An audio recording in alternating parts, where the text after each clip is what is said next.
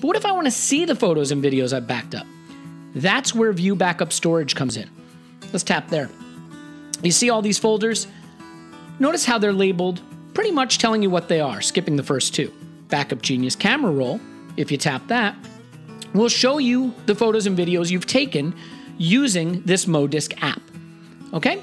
So if we tap on that, we'll see all the pictures we've taken, and if we tap on one of the pictures, it'll display it for us.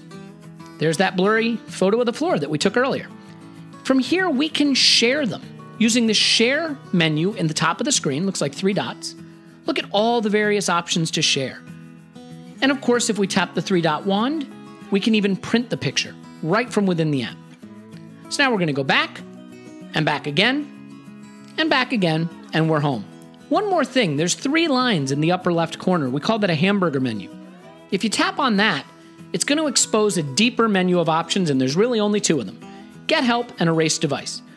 Erase Device will, as it sounds, erase everything on the device. Don't worry, there'll be a warning making sure you want to do that. Get Help will take you to a website that will give you more great help like this very video here.